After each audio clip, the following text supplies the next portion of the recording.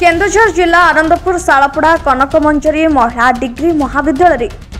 ସମ୍ମାନିତ ଯୁବ ବିକାଶ କାର୍ଯ୍ୟକ୍ରମ ଅନୁଷ୍ଠିତ ହୋଇଛି। କ୍ରୀଡ଼ା ସାଂସ୍କୃତିକ ସାମାଜିକ ସେବା ଓ ସଚେତନତା କାର୍ଯ୍ୟକ୍ରମକୁ ନେଇ ଏହି ସମନ୍ୱିତ ବିକାଶ କାର୍ଯ୍ୟକ୍ରମରେ ଶାଳପଡ଼ା କନକମଞ୍ଜରୀ ମହିଳା ମହାବିଦ୍ୟାଳୟର ଆୟୋଜିତ ଏହି ଭବ୍ୟ ସମାରୋହରେ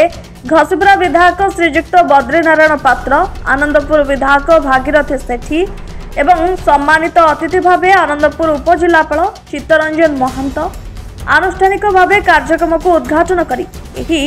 নূয়া ওড়িশা নূয়া বার্তা বহন করে ছাত্রছাত্রী মানুষ মধ্যে রহিথিবা লুকায়িত প্রতিভা ও দক্ষতার বিকাশ সহিত মনোরঞ্জনর নূয়া ধারা সৃষ্টি করিব বলি প্রকাশ করে